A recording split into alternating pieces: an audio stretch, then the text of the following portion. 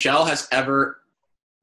You're not. I say the we- teams I that say we made the move on to playoffs. another We're going to get the first overall pick. Let's let's move on to another series because we've kind of beat this one to death. We we get it.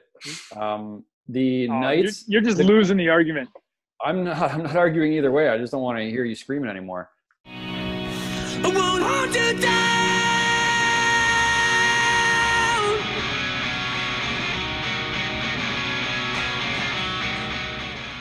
It's Toronto Maple Leafs related, so I figured it would be open territory. Well, I don't think I am. Uh, I don't think I'm in a position to give any advice or opinion on anything because my picks for NHL goalies Yeah, they're all starting wrong. has been atrocious. I saw yeah, that. I am. I am in. I am in the East Coast League of picking goalies right now. yeah. But go ahead, Albo. Let me let me lay into me here on this one. Right. So I didn't see the game, and my buddies who are all Leaf fans were saying how bad that goal was, the game-winning goal that Anderson gave up. So I wanted to ask you guys if you had any thoughts on it, if you thought it actually was that bad, or if it was a good goal. It was not a good goal. It was not. No, but he also gave up one on 34. So Yeah. guy's allowed to make a mistake. Human being. Gave him a chance to win. Yeah. So good He- goal? No. Did he play sick? Yeah. Fair. They Yeah, couldn't get next anything question. past. They couldn't get anything past past uh, Korpisalo, eh? My Six- boy. Yeah, he played pretty good. Yeah, he played Sixteen pretty million good. dollar offense. They can't get one goal. Jamie Jamie calls him my boy like they're buddies. When it was Yeah, a Jimmy, where do you get single off? it was a single fist pump in a, in a hallway crossing that he's Oh, that's clinging great. to. Oh, that's great. I like when guys are nice, man. I don't like when guys big dog. Well, he didn't big dog you, but he also felt sorry for you because you just gave up seven on 14. So Well, no, we actually won that game, so I don't. He lost. So you tell me. why don't you tell a story because I know the story, but nobody else does. So I don't know Okay. this story. No, it's not. It's like I said. I don't. I like when b- guys like don't big dog and like when superstars are nice guys. So we were playing in Cleveland, and Korpisalo was up and down with Columbus at the time. He was backing up Bobrovsky, and in order for him to get some games, they would send him down. He'd play a weekend, cut, just immediately go back up. They were playing us, and we ended up beating them three two or four two. And in the hallway after the game, he's grabbed all his stuff because he's get he's going right back to the NHL where he makes millions of dollars. And I was out there just doing like my recovery stuff, and he walks by and he's like, "Hey, great game!" And there's a quick little fist bump, and he kept going. And I was right from right there. I was like, "This guy's my favorite goalie of all time." That's sick. the I little like that. But it was better than like when I met Mike Smith, and I was just sweating. I was sweating significantly less. Do you remember what episode you talked about meeting Mike Smith? Uh, I Does anybody, if anybody didn't hear your Mike Smith story where you just sweat buckets, it needs to go back and listen to that. Uh, okay, let's talk NHL hockey because then we actually have some NHL hockey to talk about. How how good is Carey Price? Like yeah, Very, I, I hate the Habs. very. I hate them. Watching the Habs is infuriating because they're they're so soft.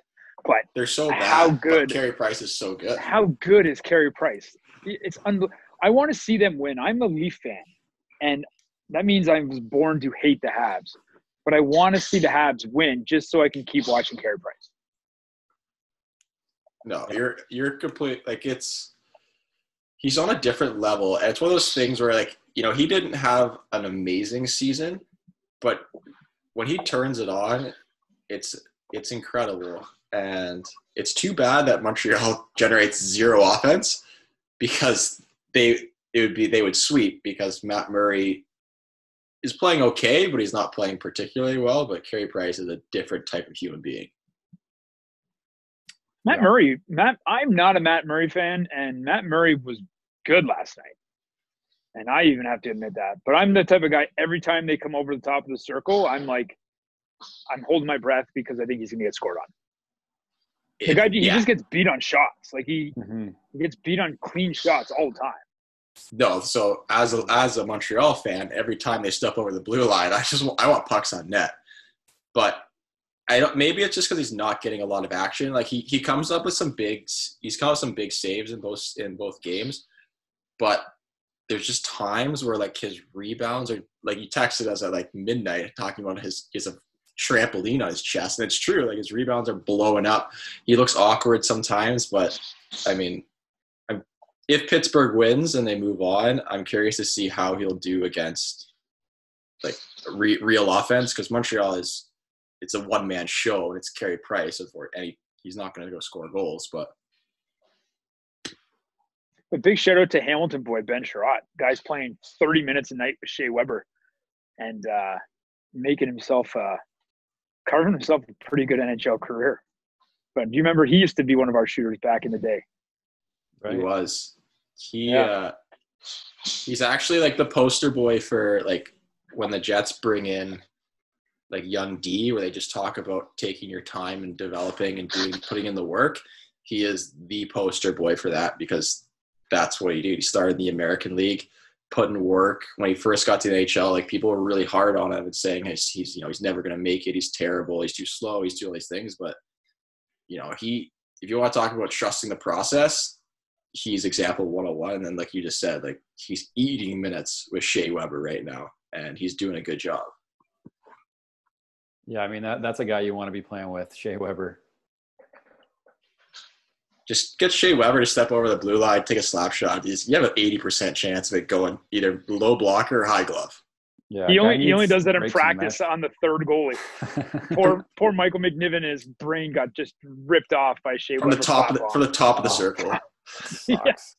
Welcome welcome to Black Acing, kid. yeah. Yeah, legit. Legit. Uh, What other, what other what other goalie stories can we talk about? So we got Mike Smith. My bold prediction that Mike Smith would carry the Edmonton Oilers to the Stanley Cup. Kind of Crawford, gone up in tire fire. Corey Crawford, Crawford. is top go last night on game two. oh he wasn't good in game one either. He has been he has been not good. Yeah. Mikko Koskinen, I texted you guys. There's I been- think he's terrible. There's But- been 19 goals scored in those two games in the Edmonton Nico- Chicago series. Koskinen could be so good, but all of his goals are a result of him being an RVH from the second the other team starts to break it in, break in the zone. He just hangs out in RVH and like then he tries to make all his, his saves from that position. He gets beat. Just just hold your feet. Just hold your feet. Do the do the Okay. Rangers give uh Lundqvist the night off after losing to Carolina? Down two think you have nothing, or do they just keep going with him? Well, I they think can't play make a Shostur- change. they can't play Shesterkin because he's hurt. Uh, that's why he's not starting. Hello, Georgiev.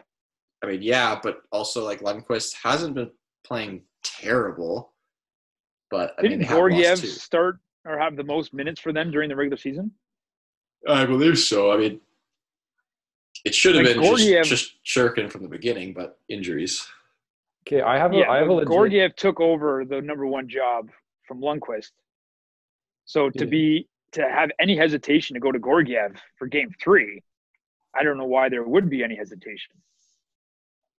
Unless they really want that Lafreniere pick and give Henrik the, you know, King Henrik. This is probably it would probably be his last game as a Ranger. You player. I mean, whether he takes over in some sort of role on the staff or he goes somewhere else, who knows? But I think that this is the end of Lundqvist in New York as a goalie. right? Yeah. I, I agree. you, and you'd so, have like- to think that. And I don't think the Rangers are going to win the series. So I think that maybe out of respect for what Lundqvist did throughout his career, you just give him one last shot at it. Okay, Yeah. be, before we let Albo ask his question, because we cut him off. As a coach and as a player, there's no way you have that mentality. You have that mentality as a guy sitting on a couch in Michigan, but you Yeah. can't tell a coach or a player, oh, you know what, we're going to give him a swan song in the game three of a playoff series. You're out of your damn mind. No, You, but it, you, it you aren't far enough removed.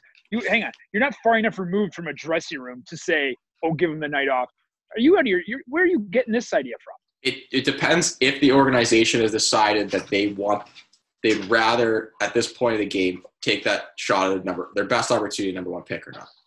And you think you think coaches who could get fired at the end of the year or GMs who get fired at the end of the year have that mentality? The only guys that would have possibly have that mentality are like presidents or director of hockey operations.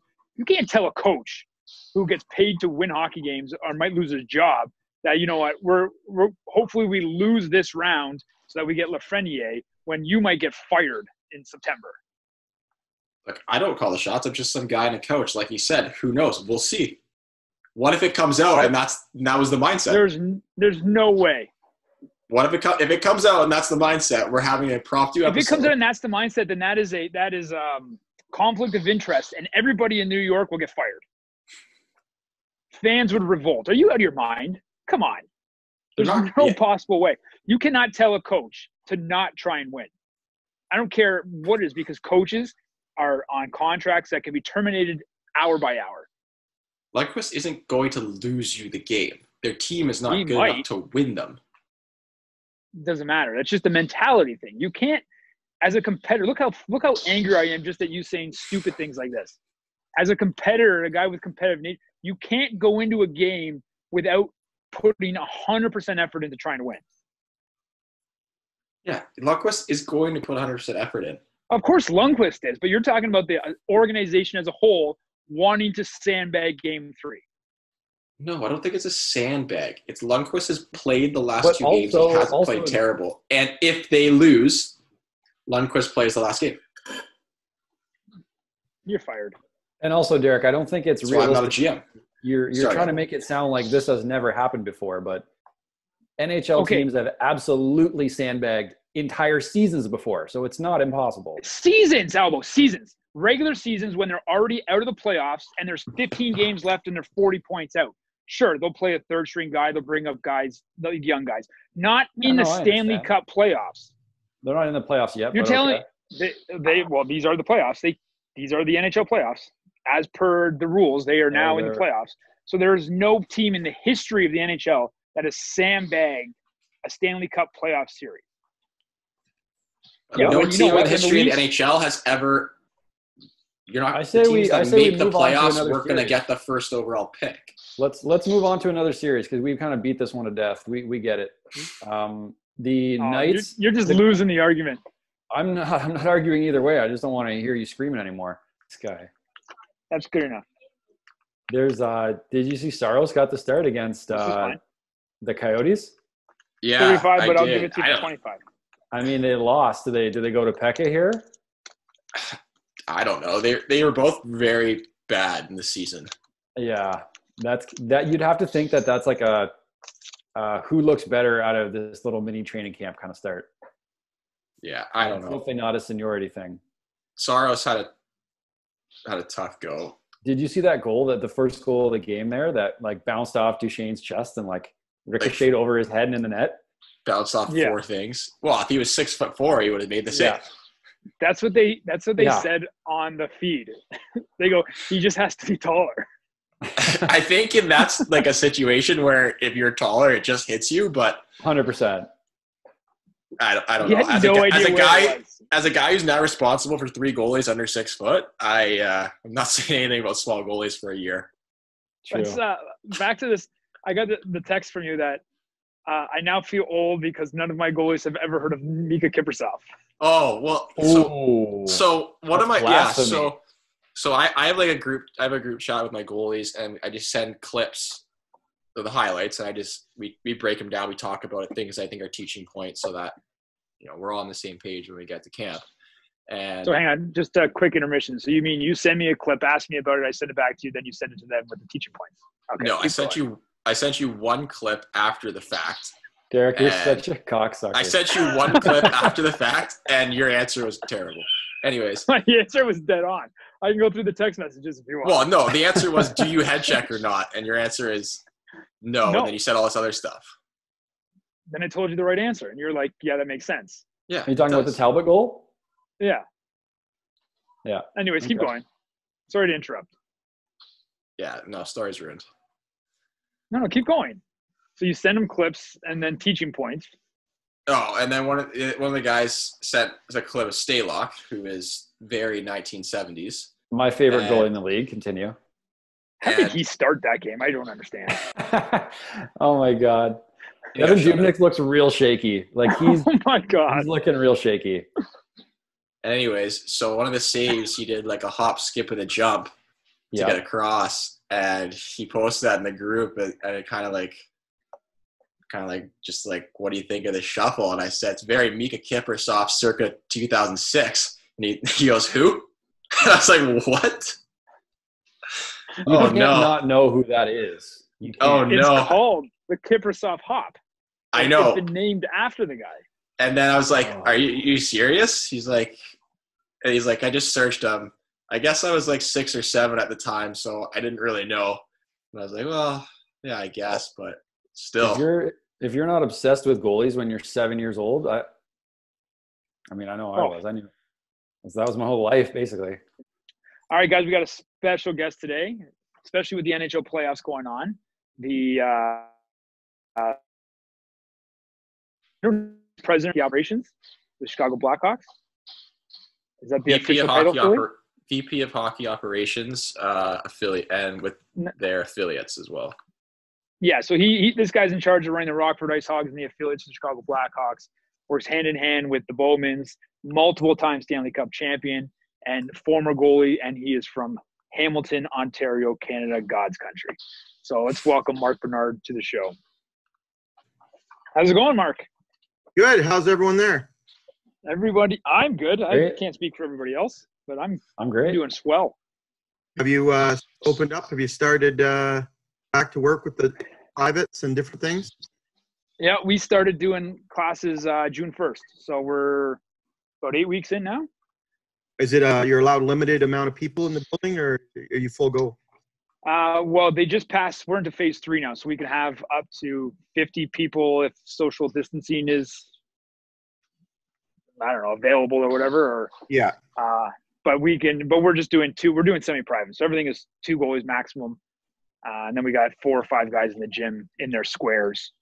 Yeah. Well, that's not Yeah. bad. Yeah, It's better than the. al- uh, definitely better than the alternative, which was doing nothing for a long time. yeah. Yeah. Well, that's how we all feel. You know, it's uh, boring as hell right now. Well, it's exciting for you guys now. You guys got playoffs started up. Yeah, that's that's been nice the last few days, having uh, a lot of games to watch, and obviously with our team competing right now, um, you know, it's uh, exciting, old school. I think hockey, kind of like '80s hockey, with the playing the Oilers and the high scoring, and um, you don't want to be a defenseman or a goalie in the in those games. Yeah, it's been it's been kind of like you look at some of the series and it's been really low scoring, and then you look at some series and there's a lot of scoring. Uh, it's kind of all over the map, and I think a lot of it has to do with the the break, but also like with you guys with Edmonton, some of those guys coming back a little bit healthier, not so banged up. Well, if with Edmonton, the biggest thing is their power play. You know, with Draisaitl and, and McDavid, and you go down their list, Nugent Hopkins, and they're just they were 28 or 29 percent, I think, this year in the league, the highest ever. Um, you've got to stay out of the box, or else they'll just they'll just pick you apart. Uh, I think five on five, we match up really well. Uh, Corey, you know, uh, he hasn't been on the ice. He's been on the ice for a little over a week um, after after being sick with COVID. So I think he's going to continue to get stronger as we go through the series. And you know, tomorrow will be an interesting game. Like we had Viz, uh, Mark Visentin was on, and You know what? He is such a great kid. Um, I was excited when we signed. You know, when I signed him to an American League deal, and he, I felt so bad. You know, I know he had his injuries and with his, uh, and then he did his other foot, his other ankle, and I just felt awful for him. And uh, I especially didn't like the fact I had to get dressed. You know, because it happened. It happened like five minutes into the game, four minutes into the game, and I I emailed someone at the league and I said, hey, you know, we just lost our goalie four minutes into the game. If if our other guy gets hurt, you know, what happens? And they're like, well, you got two options. You can sign a PTO right now and be available, or you don't sign the PTO. If another guy gets hurt, you got to put a you got to put another player in that. You can't sign a PTO at that point. And I was like, oh, I signed a I signed a PTO and and got dressed, but I felt awful awful for Viz because that kind of that was the end of his uh, his run. But he worked so hard at, at his rehab and coming back, and he had played well for us, and uh, we thought there was a lot of potential there. yeah, one of the hardest working guys I've seen growing up, and just a bull. And he even said that he goes, there was nothing that he didn't think he could outwork any of the injuries and that. Just it was, it was nice to see him get to the NHL level and play at that level and play World Juniors. It just sucks that kind of injuries got in the way for him. But that's You know, it's sometimes reality. it's kind of like uh, Brian Finley. You know, I don't. Know. Yeah, played in Barrie, and um, he had bad groins, and it just plagued him everywhere he went. Once he was pro, and he never really could make it to the top of that mountain. But he worked so hard on his rehab, and you, you just feel for those guys. You know, they're doing everything possible they can, and their body just isn't cooperating. Do you remember Um, uh, Nick Nick Pajot? yes, yes. He's working out in the gym right here beside me. I told him that we had you on. He wanted me to say hi to you. um, you know, I, I was hoping to get home this summer back to Hamilton, and um, obviously with everything going on, that's not going to happen. But it's uh, there's so many good people and good friends. You know, I love seeing guys around our area do well. Like I love watching Cam Talbot right now. You know, in the in the playoffs, I'm I'm so glad that Calgary gave him the starting. You know, the first two games, and he played well. Um, it's great seeing guys, you know, at any level from from Hamilton in our area do well. So, Mark, I had a question. Can you explain your role with the Chicago Blackhawks for those that might not understand it? Sure. So my title is uh, I'm the vice president of hockey operations and slash affiliates, which basically, you know, I do a lot of uh, my office is in Chicago full time, and uh, I'll kind of back up. When I first came on, I uh, had joined the team in. Uh, they were still located in Norfolk, Virginia. Chicago had their American Hockey League team in Norfolk, Virginia, and I went there as the assistant general manager, uh, in a, you know, helping my best friend Al MacIsaac and uh, was there about a month or two. And I had been running teams in Europe before that, and I took over as the president of the team. And then when Chicago moved the team to Rockford, they were there for about a year, and then Dale Tallon hired me to come in as the general manager of minor league affiliations. So I looked after everything to do with Rockford. And then I've since, you know, kind of climbed up the the pole a little bit, and uh, you know, Stan Bowman, Al MacIsaac, um, have have been so great to me right from day one and my involvement you know because rockford chicago is only an hour between the two um, i was always in there for meetings uh, the draft preparations or at the draft and free agency and the trade deadline and in and all the meetings and never once was i made to feel like the minor league guy. You handle the minor league team and um, even now you know when i got promoted a couple years ago uh, Stan and uh, Stan and uh, Al, you know, made sure they're like, hey, we want you on, uh, you know, all the flights. You know, if you want to travel, you travel. Um, if you need to be in Rockford, you go to Rockford. And um, you know, so but they wanted me to still oversee everything in Rockford because I've been doing it for so long. It's been, you know, we didn't want to have any hiccups, and I'm very fortunate they let me uh, hire an assistant GM, uh, gentleman, young kid by the name of Nick Anderson, who's got a bright future in this sport and he helps me with a lot of the day to day out there since I'm only out there maybe once or twice a week now. But I'll see about 130 games a year between uh, the two teams, and I'll also make a few trips down to Indianapolis to watch our ECHL affiliate, the uh, the Indy Fuel. So I'm kind of involved in everything. Um, I know that was kind of a wide variety, you know, answer, but um, you know, the signing of free agents in Rockford, I'll work with our uh, our, our pro scouting department on that. Um, you know, making trades at the minor league level, um, you know, doing different projects in Chicago for Stan or Al, and and basically making a travel schedule for myself, whether it be with the NHL team or the American League team. So I'm pretty busy once the season is in, you know, in full swing. I saw Michael's Oh. hand. Yeah, I got a question about um, your your post playing career. Um, after having such a long uh, playing career, clearly you wanted to stay in the game. So talk about your your transition out of playing and and into the kind of uh, behind the scenes role. Did you consider uh, coaching, like being like behind the bench at all? And the the second part of that would be like, I want to know about like your your first role in hockey post playing. Like, what was that like? Well, I first got to I got to give a shout out to a a man that if it wasn't for him, I wouldn't even be in hockey. Um, you know, I was uh, back in I think it was 1986. I was drafted to the OHL, and I was I think fifth round or sixth round, early sixth round. It was high at that point. I think I was the fourth goalie overall, and I and I had a, a coach and general manager and Bill LaForge that um, I just, we just didn't get along, and um, he didn't get along with the goalie prior to me. That was also a Hamilton native, Peter Richards. So when Oh Peter yeah. when Peter Richards left, I think he just uh, he took it on me next. And um, going into my third year in the OHL, like I never played. I just sat on the bench for two years.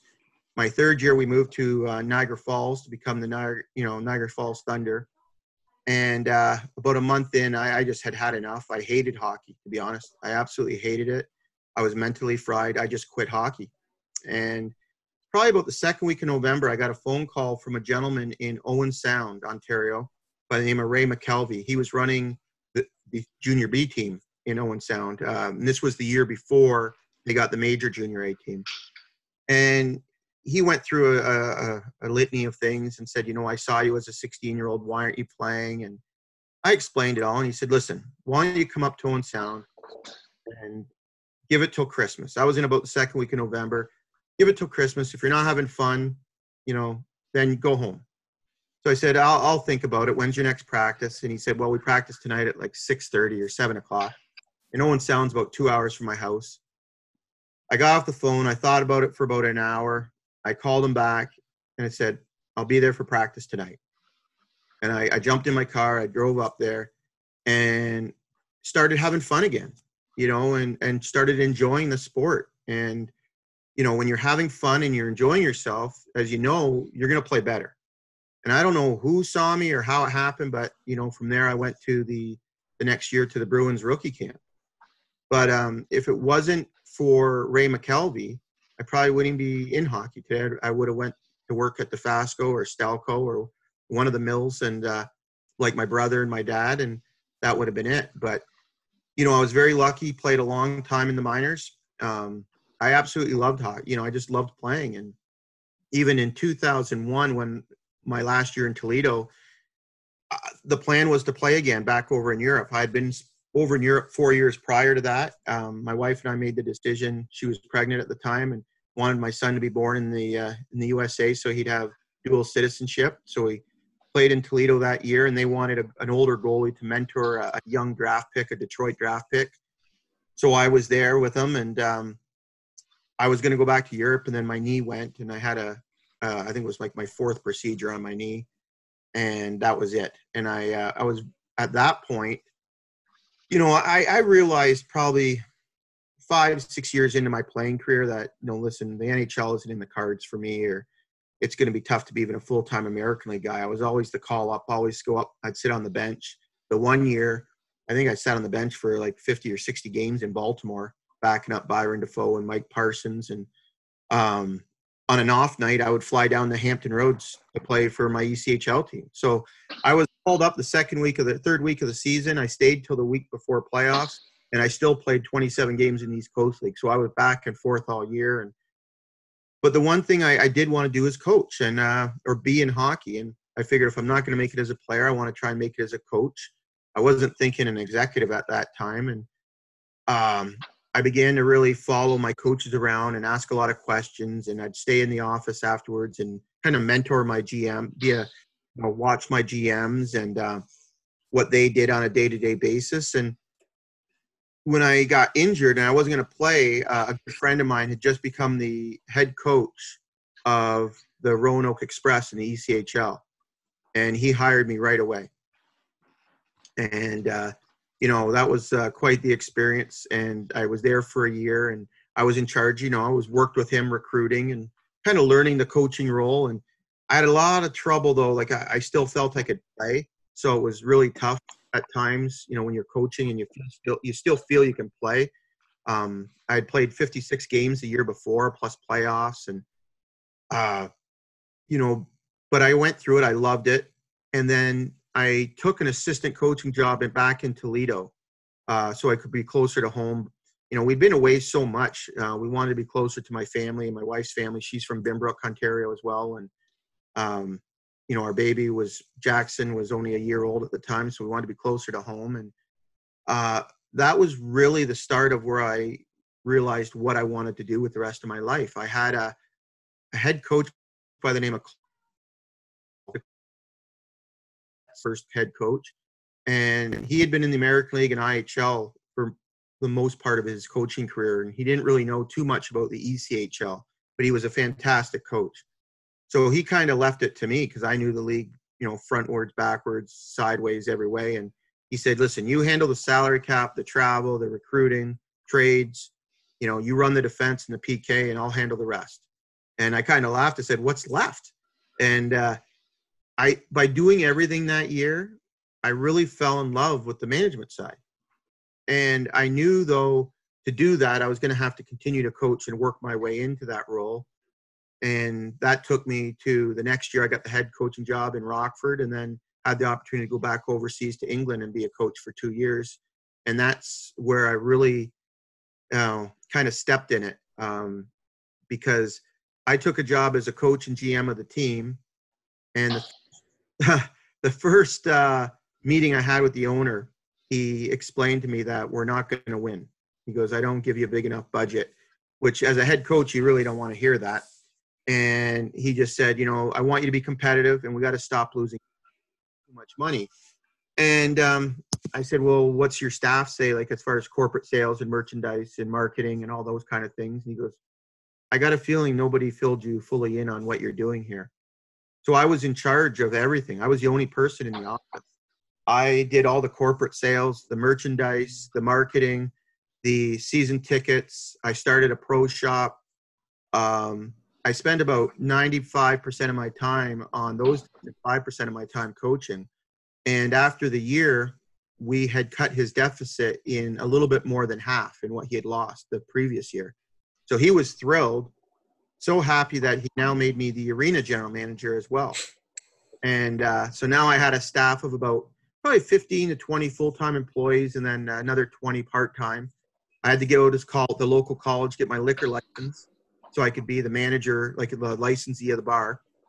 And then, uh, so now I'm the GM of the team, the GM of the, the, the building and the head coach. So on a, a typical day, a Tuesday, and, and Jamie, you were over there, like a typical Tuesday. Monday's always a day off for the players over there in England. Tuesday, I'd go into the rink because I'm there. I don't need any other managers on duty because that's a waste of money. So I would be there running everything. I'd be doing the Zamboni, you know, the cuts. I'd run our team through practice, get off the ice, take my skates off, and I'd do the Zamboni so the figure skaters could get on next because all the arenas over there are multi use. They're not just for your team um, I was doing everything. You know, I would be after our game on a Saturday night. I'd be at the rink till two in the morning till the girls got the bar closed up.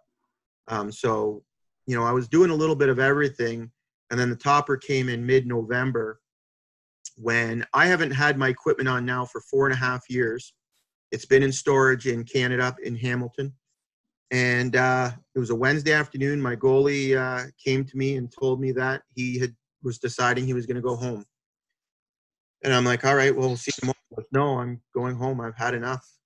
So I'm sitting on the couch that night, and I can't even use the words that my wife used, but she basically, don't, don't tell me you're, you're, thinking what I think you are. And I'm like, I don't have a, a choice because, uh, especially back then in the mid 90s, you know, the British goalies were okay, but they were more your backups, and they're going to play third period or mop up duty and give you a break if you needed it, but they weren't starting games. Um, at that point. And I got my equipment shipped over. My mom and dad got it out of storage, got it to uh, a buddy on my on my team. His parents were flying over on the Friday. They flew it over.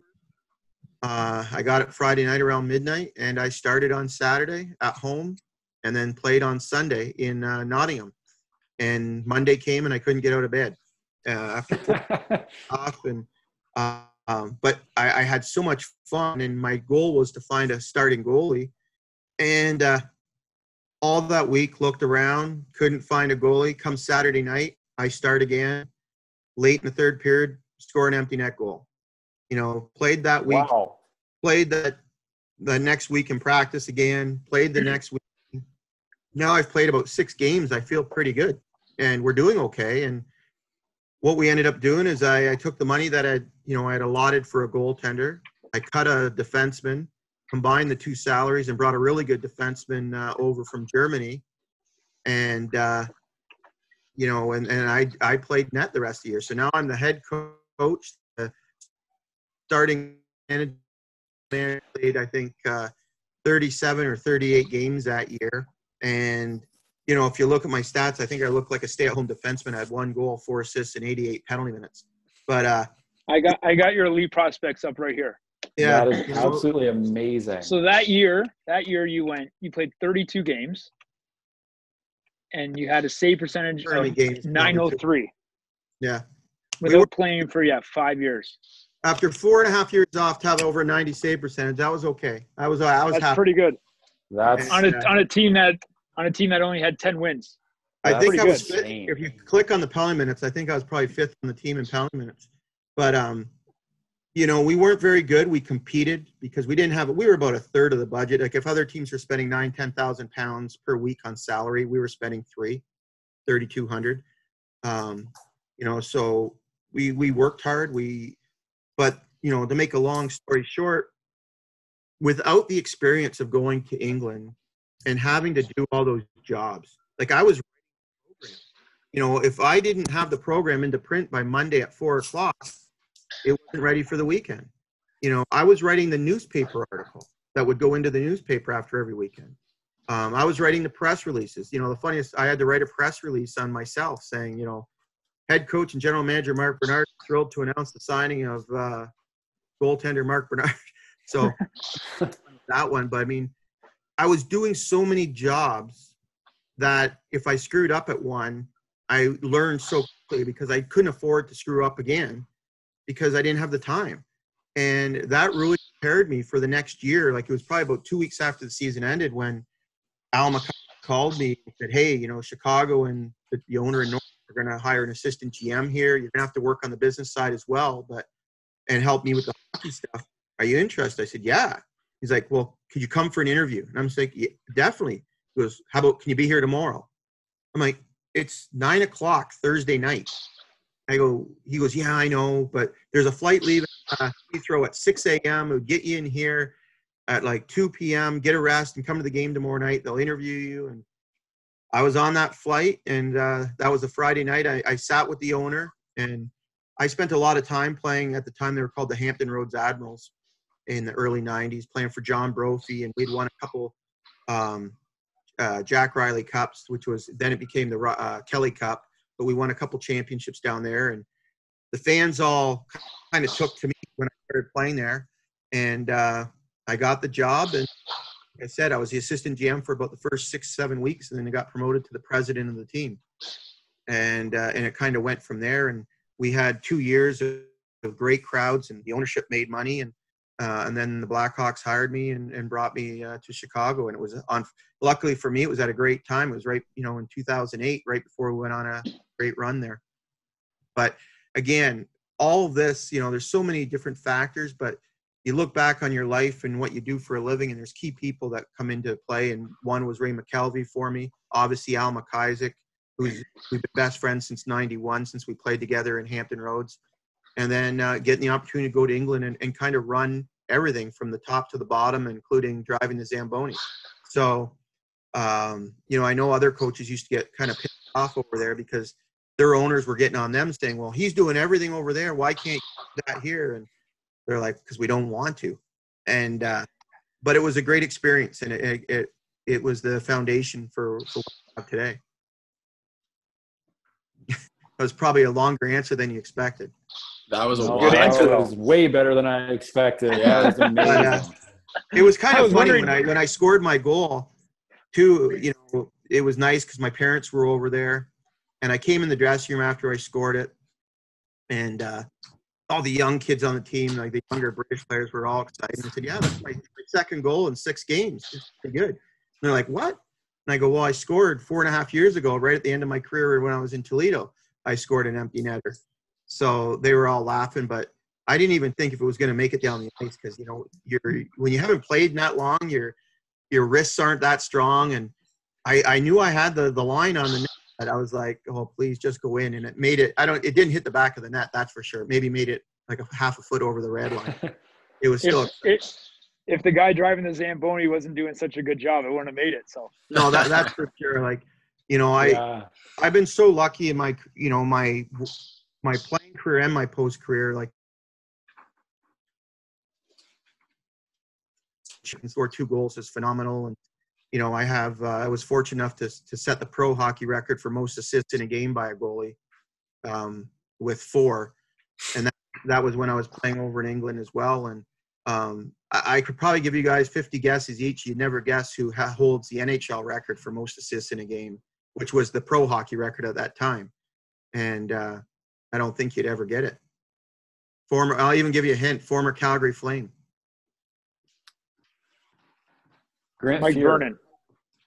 No, I thought I would have thought of uh, Fuhr too in the Edmonton days, like maybe kick Yeah. down the ice or something. But it was uh, it was Jeff Reese, Oh, Oh, Jeff wow. Reese.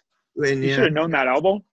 he got Yeah. three. He got three against uh, I think it was the San Jose Sharks in their expansion year. Yeah.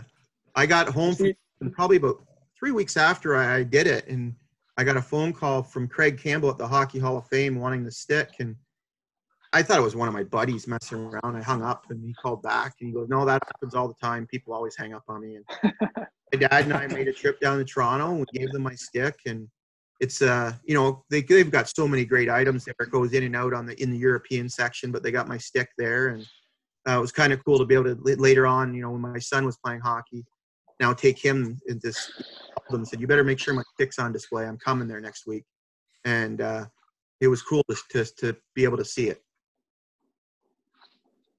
Now, That's awesome. being a player, coach, Zamboni driver, everything involved in you know the UK hockey, and I saw you know I saw sometimes a little bit of a wild west out there.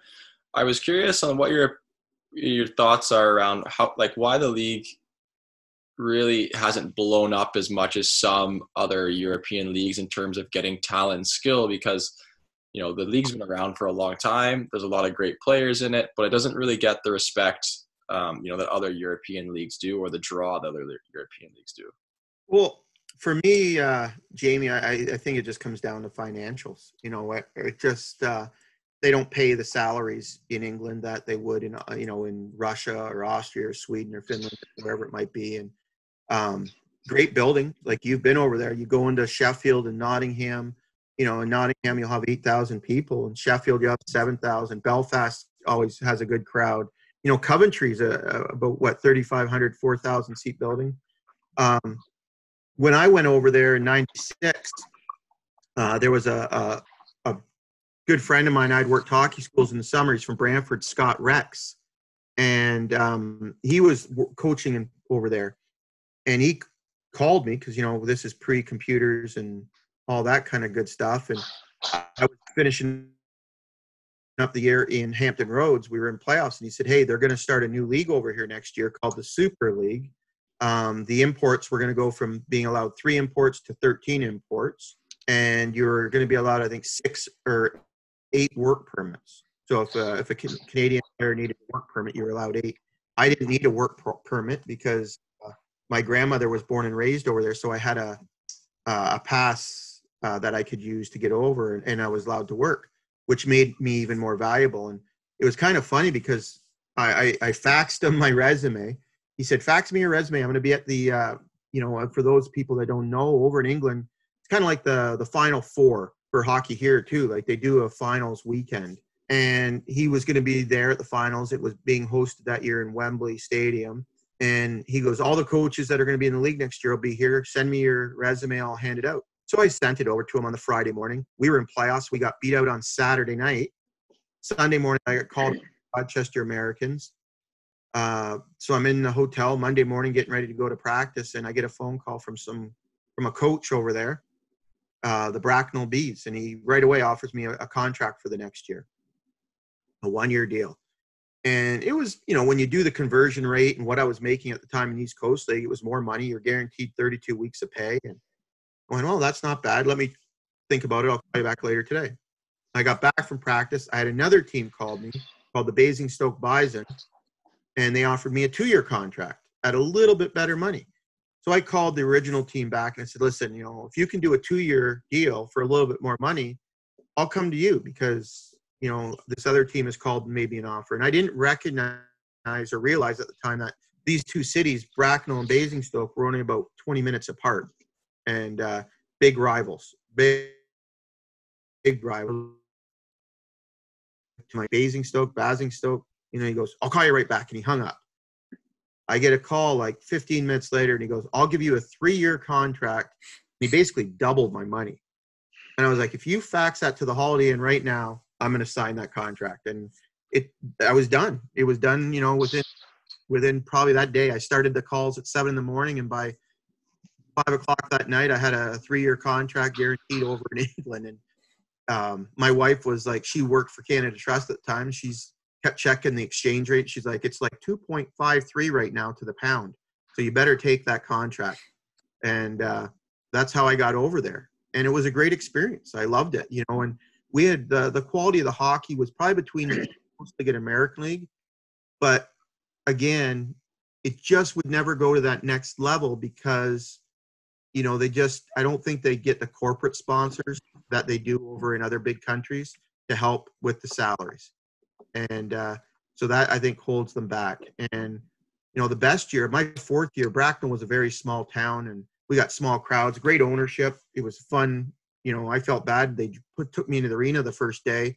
I'm right off the plane and i'm like oh is this the practice rink? And they're like uh, no this is our rink. And i'm like oh okay. Sorry about that. And it was like 2,000 people, 2,300 people right on top of you.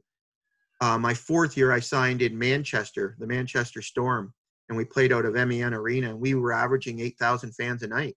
There was a few nights where they opened the, you know, the top level, we'd get 12 or 13,000 fans a night. And we played in uh, the European Hockey League, which is now called the Champions League, and uh, went to Switzerland for training camp for two weeks. You know, it was just the experience alone that playing over there brought me was you know was priceless. And uh, I, I wouldn't change anything about it. It was a it was a great experience. We uh i think last time we talked before this uh we were talking about that kid that you guys signed out of uh the d3 league. The kid that had a sub one goals against average. Tom Aubrun was- yeah Aubrun. Norwich. and um, out of Norwich University, yeah. And uh, we we we did a little banner on that and talked about how he had unbelievable numbers, and it doesn't matter which league you're playing. If you put up numbers like that, you're going to turn some heads. Can you just talk a little bit about the guy as a guy who signs the free agents for the AHL and the East Coast, where you're finding these goals and how you find them, and is it just somebody sending you a name, or you out watching and recruiting, actively looking for guys? Well, you know, it, it's it kind of varies. You know, I've been knock on wood. I've been lucky with goaltenders. Um, when I first got here, one of my first few years, uh, one of the first goalies I ever signed was Carter Hutton, and Carter had just graduated from school. He had played one year pro, mostly uh, you know in the American League, and didn't have a contract that next year. And I signed him to an American League slash ECHL contract because we needed um, a fifth goaltender in our organization, and um, Carter came in and had a great camp. He went to Toledo. Uh, that was our ECHL affiliate at the time and was playing. And they weren't a great team, but he was playing really well. And by Christmas, because of injuries and different things, he was our number one goaltender in Rockford. And then, you know, by March, we flipped him from an American League deal over to an NHL contract, and he backed up. And then we brought him back. He jumped up. He was number three in our chart the next year, and played again with us, and and played his first NHL game. And uh, at the end of that year, signed in free agency with Nashville, and has been in the NHL ever since. And you know, he did that unbelievable. First of all, his character is is is off the charts. He's a great, great human being. Works so hard, um, and he, he he's he's worked for everything he's ever got. You know, he never had a scholarship till like I think it was the beginning of August after his last junior year had ended. I think you know his story was he wasn't far that far off of starting an apprenticeship, uh, you know, in school because he didn't have anything. Got, he, I think it was UMass Lowell he went to, um, and went all four years and then turned pro. And but really with us is uh, where he really went, you know, got his game on track and played fantastic and worked really hard with our goalie coach uh, at the time, Andrew Allen, and um, and then you know the next goalie that kind of came along for us was uh, Scotty Darling. Um, I saw Scotty Darling. I was down in Indianapolis, or sorry, Toledo, watching uh, was Kenton in one net, and I'm watching. Instead, I'm facing the other way the whole night, watching Scott Darling play for Wheeling. And uh, that summer, that next summer, he signed an American League deal with Milwaukee Admirals, who was one of Rockford's biggest opponents. And I went and saw him play in a, you know, after seeing him play against us, I went probably an additional five to ten times to see him play that year, and uh, kind of kept hounding Stan Bowman about him, and you know, to the point where I kind of shut up. I was like, Stan doesn't want to hear about this guy anymore. Just stop.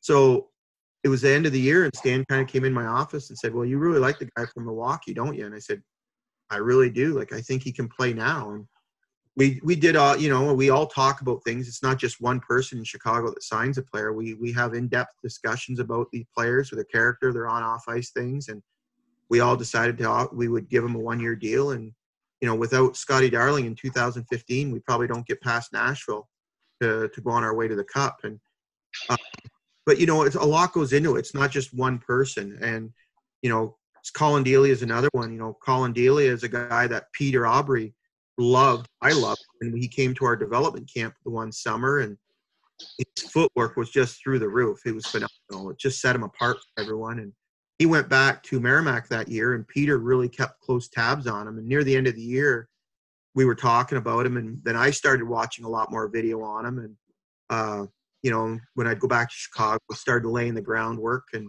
we had good discussions about him. And as an organization, we decided to offer him a contract and, you know, he, he's done great for us. So when it comes to Tom, you know, Peter Aubry is very good for friends with the Norwich coach. And he kept uh, bringing Tom's name up to Peter. And then Peter started talking to me about it. And we started watching a lot of video. And uh, for me, he reminded me a lot of Carter Hutton.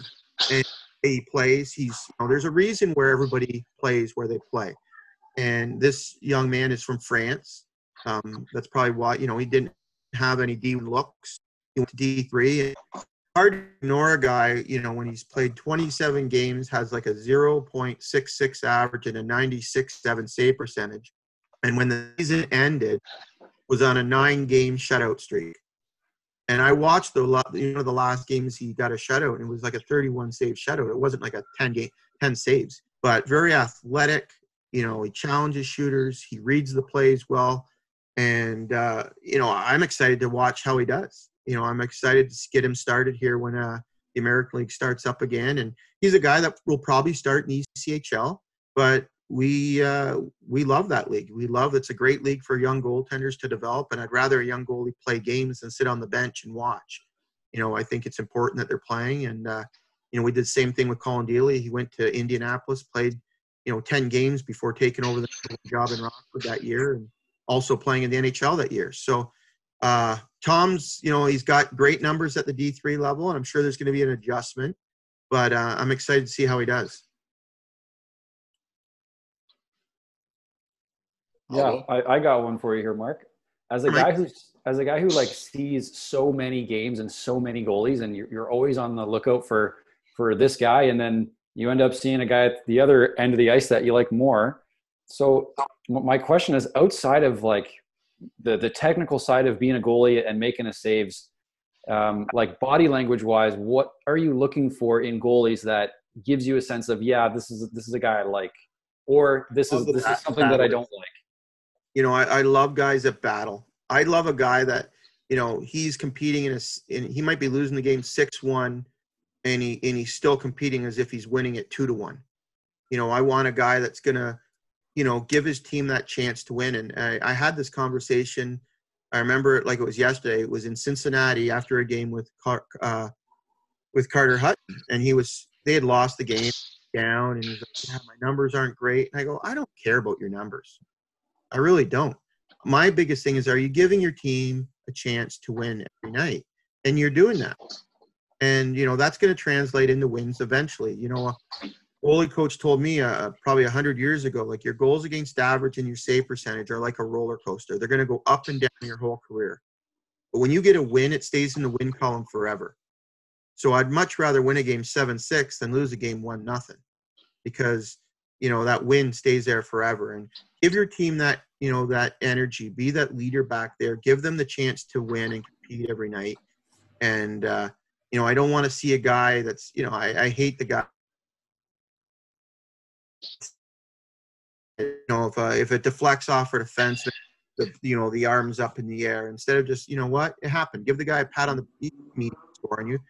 You know I, those kind of things really bother me. Um, I love watching guys that you know you could walk in a building in the third period without looking at the score clock. It might be you think it's a zero zero or one nothing game the way this guy's playing, and then you look up they're losing six one. You know you want that guy that's going to battle and you know just be a great teammate for you every day. I thought Jamie, you had a question.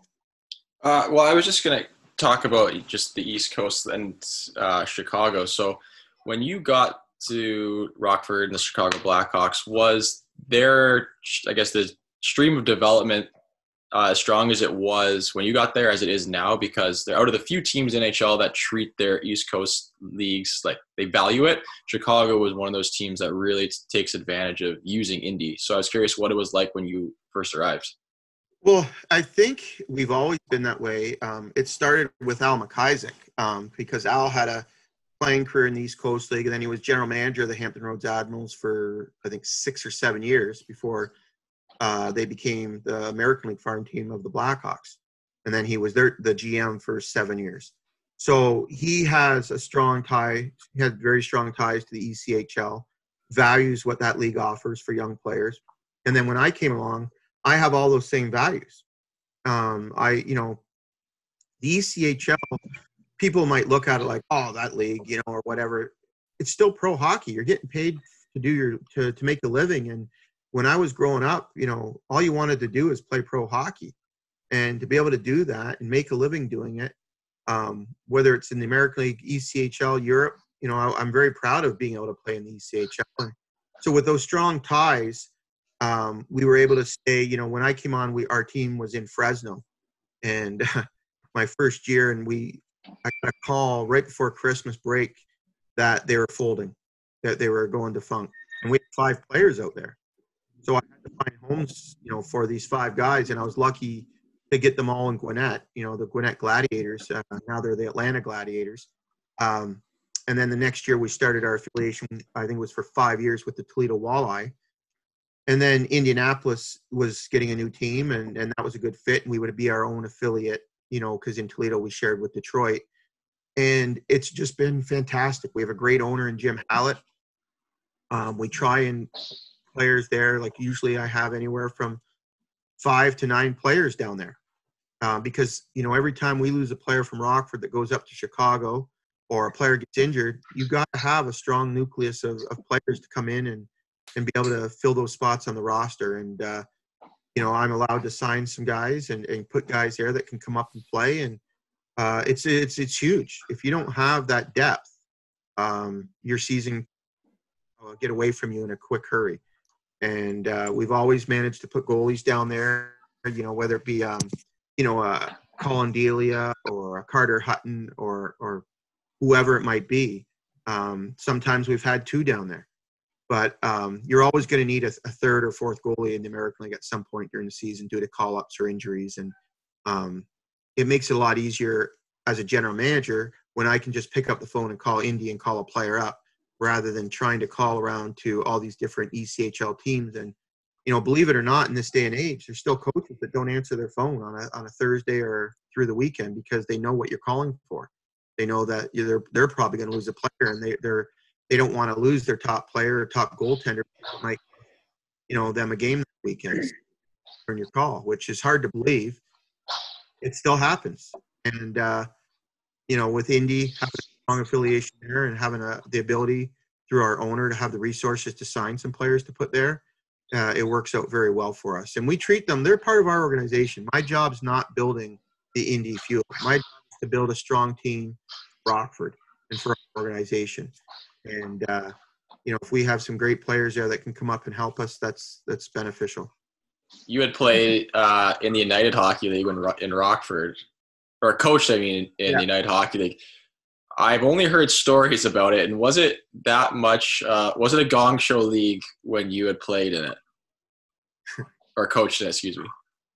It was probably gong show than the players.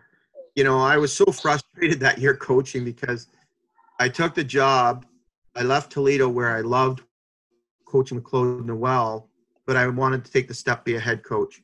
And then two days, the day after I took the job in Rockford, Claude Noel got the job in Milwaukee, and Toledo wanted me to stay and head coach, but they'd already even done a press. They already done a press conference and everything in Rockford, and I couldn't really back out of it. It wouldn't have been the right thing to do, and I recruited what I felt was a really good team, but we had such a rash of injuries. Like I had eight of my top players within a month of the season starting have major injuries. They were out for like I had a guy uh, Reggie Savage who had played. He was a first rounder of the Washington Capitals. Played in the American League. Played some games in the NHL. I you know I brought, I recruited and brought him in. I knew him from my days with Baltimore. First game of the year, blows his shoulder, is done for the year. You know I had two players with broken orbital bones that were out for eight weeks. I had a player uh, retire. You know, a player keep one of my best offensive forwards retired and took a job as a policeman in Nashville. You know, I had two guys go out with knee injuries, and it was just never ending. And then uh, I was told by ownership that we couldn't, you know, when a player would I have to find a player. Then I was told I couldn't bring any more players in. I had to use local guys because they couldn't afford to bring any more because I was paying so many players at that time. You know, because just because a player's injured, you're not going to not pay him. And uh, I remember going. I would be at a local rink in Rockford on like a Thursday night, watching uh, watching a men's league game. Oh yeah, you look pretty good tonight. You want to come play for the Ice Hogs tomorrow night? And it's just a disaster. And uh, you know, I it kind of proved to me like I, I was good at the recruiting part, and I didn't handle the losing. I hate losing, and uh, it was just you know when the opportunity. Uh, I, I remember I told my wife it was probably mid-November when I came home. I said, "Don't unpack any more boxes. This isn't going to last." And with eight games or nine games left, they I had just gotten thrown out of a game. I kind of blew a fuse and threw all the sticks and tape and water bottles and kind of was venting uh, from the last six months. Everything landed on the ice, and the fans loved it, but uh, it got me a, got me a game suspension and uh, probably the rest of the year off because they let me go after that. And I, that's when I went over to Europe, and it was probably the best thing. That, you know, getting fired sucks. You know, just like getting cut from a team or anything, but it's probably the best thing that ever happened to me because it pointed me in the direction of going back over to Europe, and uh, that led me back to North America with a whole new set of tools in my toolbox. There's there's no coach in the world who hasn't been fired at least once. So it's well, you're not doing your job right if you don't get fired. The way I look at it, um, you know, you're you got to piss someone off at some point, and uh, you know, it was funny because they, I had to go talk to the players because the players, I, I had a great group of guys. They were fantastic. They worked their, you know, with all the injuries, we are lucky we even had, you know, the record we had, and they worked extremely hard for me. They were all great players, and they were like, no, we're not going to play then. If you're firing Bernie, we're not playing. And, um, you know, a lot of those guys I still stay in touch with, and uh, it, it was fun. But you know, I think more when you're talking gong shows, Jamie, like when I first joined the Coast Talk League in uh, my first year was 1989 90 season. There was I think seven teams in the league, and uh, you know I, I went to camp. Uh, I went to Bruins rookie camp. It was in Hingham, Mass. that year, and I went to. Uh, they sent me down to Johnstown, and I went to Johnstown, and you know anybody that's a true hockey fan knows that Johnstown is where they filmed the movie Slapshot um, and the rink looked the exact same. Like all those billboards that you see along the back wall and slap shot around the rink, they were all still hanging up. And my head coach was Steve Carlson, who was a Hanson brother. And I had a great camp, but I had a year of junior eligibility left, so I came home. They said, you know, I, they got a Bruins contract going down at the last minute, so they returned me home. And uh, the rule in my my dad's household was you're going to school, you're working and I was done school, so I, I got a job. Um, I was working for Door Brothers Meats on Highland Avenue there, and uh, I was killing cows from seven to two every day. And I was playing uh, the team in Owen Sound. I was ready to go back to them, and they thought you know I was staying, so they traded my rights to Brantford. They tried to uh, click one on Brantford, and then when I returned home, I'm like, I, called. I called be up. He goes, I traded you to Brantford. I didn't think you were coming back. I, I thought I'd get a quick deal on them. So I was playing junior hockey for my last year at night, and I was uh, killing cows during the day. And it was just in January, beginning of January. I think I got a call on like a Wednesday night from or Thursday morning from Steve Carlson, and he's like, uh, "We got a goalie injured and one called up. Can you come in, meet us in Erie on Friday night? Can you come with us for the weekend?" I'm like, "Yeah, that'd be great." I remember I was all excited. You know, I'm sitting on the bench for a pro hockey game. Uh, was one of the best teams in the league, and I'm sitting on the bench, and you know, your mind's everywhere. You're you're not really watching what's on. You're more looking what's going around, and all of a sudden it's four nothing, like four minutes in the game or five minutes in the game, and he yells down the bench at me to go in the net. So next thing I know, I'm in the net, and uh, I gave up two the rest of the way, and had a good game. I was really, you know, I was really happy that I even played, and uh, he told me before we left, you know, I was following the bus back to Johnstown because we played at home Saturday, Sunday, and he goes, "You're starting Saturday night." So I got the start Saturday night against the Nashville Knights, they were called, and uh, got my first win. Played again on Sunday afternoon, and we lost, but I had like I don't know 50 shots or something like that. And uh, I went in to thank the coach. I said, "Thanks for having me. You know, you're interested next year, you know." Like, you're not going anywhere. I, I just got the other bully. You're staying here the rest of the year. And that was the best call that I ever got to make. I called my boss at the meat packing company and quit right there. So I was with them the rest of the year. But things in just that short little bit of we weren't a very good team. We were the last place team in the league. And uh, but the things that I saw in that league that year were just you know, it was like mind blowing. And it was it was funny, it was fun. Uh, but the next summer, I signed with uh, the Hampton Roads Admirals with John Brophy, who I knew very well from coaching the Maple Leafs. He was only two years removed from coaching the Toronto Maple Leafs, and uh, I went and played for him. And my goaltending partner that year, we were affiliate with uh, Detroit Red Wings as well that first year there, uh, Washington and Detroit. So I get there, and my first four or five games, I'm just backing up, and I'm backing up Olaf Kolzig, and uh, you know, first round pick of the Caps, and I think we were 0-4 and one. And I'm coming off the ice, and you know, like Ole's six three, I'm five seven, so it's you know, kind of funny. And look at the together, and unbelievable person, great partner. Um, I'm coming off the ice, and Broph would either call you mule or goaler. And, uh, he yells at me, "Goaler, can you win tonight?" I'm like, "Yeah." So he goes, "Well, then you're playing." So I started that night. It was a Friday night, and in in uh, Hampton Roads, Norfolk, Virginia. Back then, if you didn't have a ticket for a game on by Tuesday, Wednesday, you didn't get one. We were sold out every weekend, like eight thousand people, and unbelievable place to play. And I get my first win that night, the team's first win of the year. Starts me on Saturday. I won again. And I got first star in both games, and I went on about a 10 game run where he played me and then Washington called and said, what are you doing? Like we, we didn't send our first rounders to sit on the bench.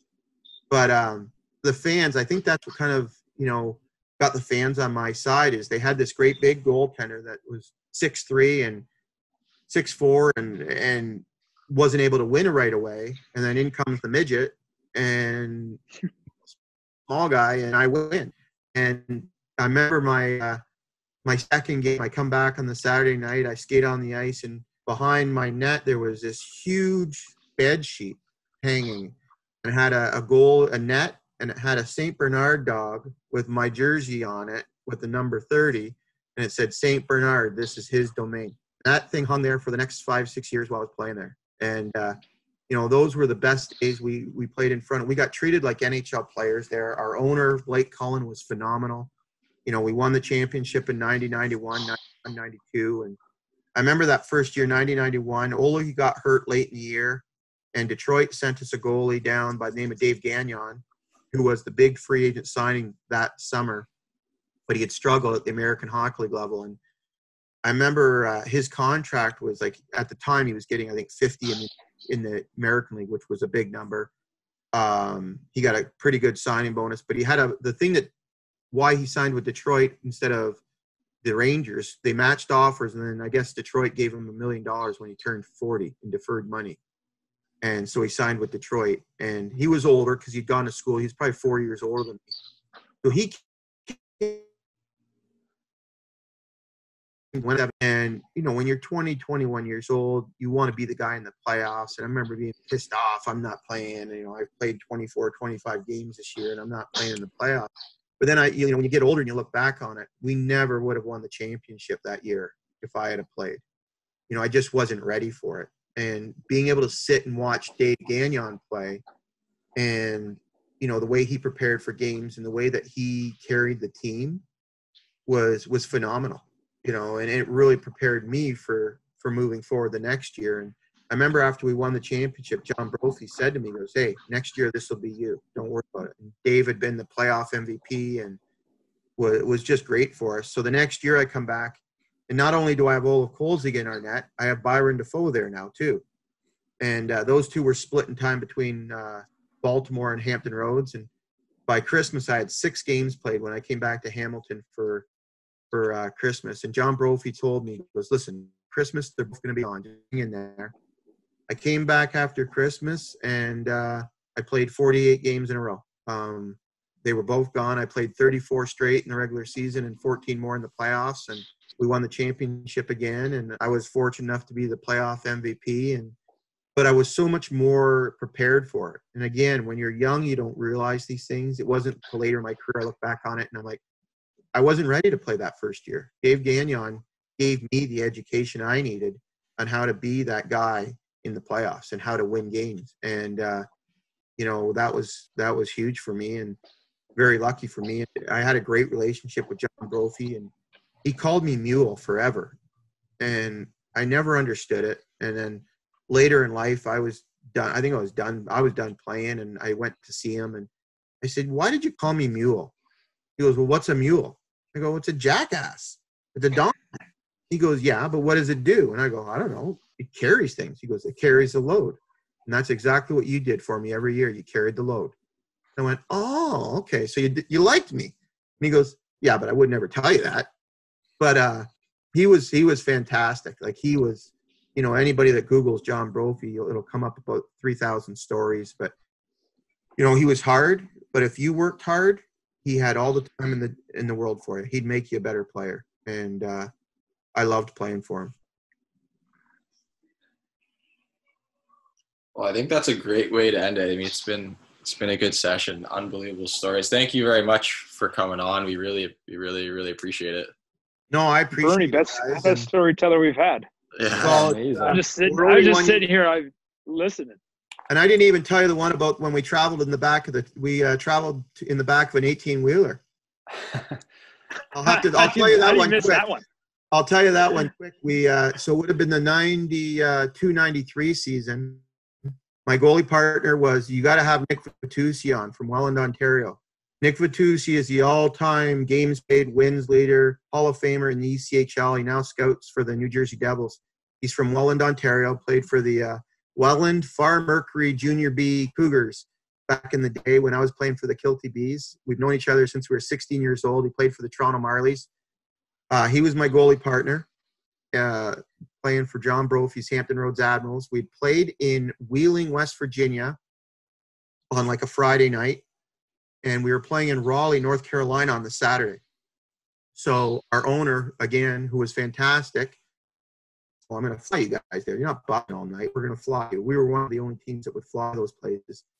So we had to bus after the game about hour. It's about an hour and 15 minutes to the Pittsburgh airport, and uh, you know we all pile on the bus. We get about 15 minutes into the. It's a big snowstorm. You know, all of a sudden the bus driver yells, "Get down!" So you know, what do you think happens? 20 hockey players look up. You know, they don't get down. They're all standing up, looking what's happening. And a pickup truck had swerved into our lane, and we T-boned it. So the police come, amp fire. Nobody was injured, and but the police tell us you can't drive your bus because the bus was the front of it was a mess. He goes, drive it half a mile up to the rest stop, to the truck stop, and wait for a new bus, but you can't proceed any any farther with it. So soon as we started driving, John Brophy's telling the bus driver, just drive the, the last, you know, out. We had about an hour and ten minutes left.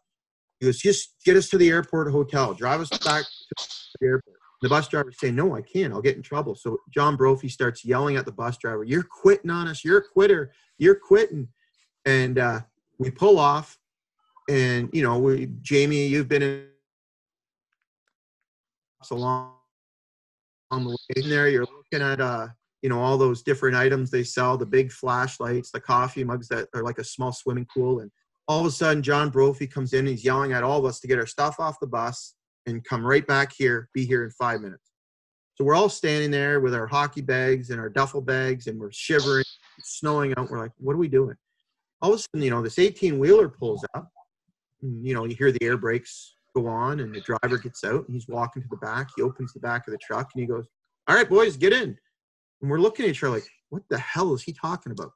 And then John Brophy comes out with a coffee and goes, You heard him, get in the truck. So Brophy had found this truck driver and uh, paid him a few hundred bucks. And it was his truck was half full of office furniture. We all piled in the back of this 18 wheeler with our furniture. And I don't like these kind of things. Like I'm not big on trapped, you know, I'm kind of claustrophobic. And, and one player that nobody really, you know, cared for, we let him ride up front with the driver. So we're all piling in the back, including John Brophy. And uh, you hear that those double doors shut and the click, you know, of the lock. And there's no lights back there. Uh, John Brophy had like one of those little pen light flashlights, and he was holding it under his chin. You could see every scar on his face, and he's and he's telling us stories about when he played. And uh, you hear the driver shut his door, the air brake release, the truck fire up, and it starts shaking, and you get going down the highway, and the wind's blowing, and you're like, oh my god, if we get an accident, they're not going to look for any people back here. we pull up in front about an hour and hour and 10 minutes later we pull up in front of like a hilton. We always stayed at nice like a hilton or a ramada or something pittsburgh airport. We hear the air brakes go on and the driver's door shut. We hear the door click and open up and out piles like we look like the bad news bears. We pile out of the back of this 18 wheeler with their hockey bag and all this everybody in the bar uh, it was a big bar window that looked out to the parking lot and they're looking out the window like, are we seeing this right? Like all these guys piling out the back of this truck. The next day we flew to Raleigh. I was supposed to start. I couldn't. I was rattled still. And Nick Vitucci played last minute and stood on his head for it. And, uh, you know, it, it was just, you. if you did that today as a coach, you'd have 20 agents on your phone the next day. You'd probably have the police at your door. But, uh, you know, it was just I don't know who had the foresight, but someone ran in and bought one of those. Remember those cool old Kodak cardboard uh, disposable cameras? So I have two pictures from in the truck that night before they closed the door, and uh, it's it's phenomenal that we did that. And but you know, like I said, Nick Vitucci is a guy you got to have on, and uh, you know he was Nick is a guy that was so loosey goosey when he played. He'd be he could give up eight goals in a game. He'd go out singing the theme song from that show. Eight is enough that night. It didn't bother him. Where I was very uptight, very professional, very focused, and he was just loosey goosey. And I remember playing for Charlotte one night, and I was playing for Hampton still, and I'm stretching on one side of the center ice line, and his partner, uh, Ken Shep, I think was, he played, he was a Binghamton Ranger draft, or New York Ranger draft pick he's stretching on the other side, and I'm playing Ken that night. We're talking, and those days you didn't wear your goal. You know, you'd send your goalie mask out to the bench, and you you know you'd get the flow going, and you'd go out and shoot pucks with no mask on. You just throw it on just as you went net for warm up. So we're stretching, and I see Nick doing something at our bench, and he steals one of my sticks, my backup sticks, and he comes across with a puck, and he goes to shoot it at me. Well, I'm ready for it he shoots it, but it gets away from him because I've got a big hook on my stick, and he hits his partner right in the face, and like eight stitches. And uh, so Nick has to play, and he stands on his head and beats us like three to two or something like that. But like the look on his face, like soon as the puck left his stick, he knew he was like, "Oh no," and I was like, "Oh no," and Ken Shepard never even saw it come and hit him right in the face and uh, you'll have to, you know, that's a if you, you get telling stories like this, they keep popping back up in your memory bank. But um, in the East Coast, like back in those days, there were so many things that happened, and you know, some you like sharing, and some were, were stories that are just shared amongst the boys. But uh, it was a fun time and the best time of my life, and I wouldn't wouldn't change it for the world. Yeah, that's a, that's an amazing way to end it right. Luck the rest of the way. And, Thanks so uh, much, guys. I appreciate it. And uh, stay safe, and hopefully when I can uh, get back home here, I'll stop in for a visit. Awesome. And tell Jackson uh, we all said hello too. I will, guys. Thank you. Thanks so much, Mark. Take care, guys. Thanks.